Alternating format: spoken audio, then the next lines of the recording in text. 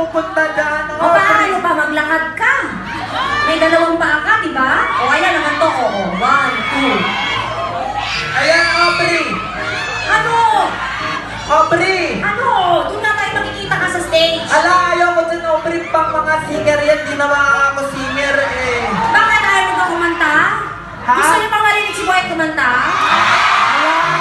Mahina, mahina, hindi ko marinig. Gusto niyo pang marinig si Boyet kumanta? Ala! Ako. Nandyan si Miss Lilibet Razonable, oh. Huwag ka kang ganyan. Ang dami mong gusto eh. Eh, paano na to? Nag-ayos ako ng ganito, tapos wala lang? Eh, Aubrey. Ate, sa'yo na nga yung picture ni Aubrey. Aubrey. Ladies and gentlemen, Ala, ayan na, Aubrey. please welcome Mr. Ken Chan Oh. and Miss Rita Daniela.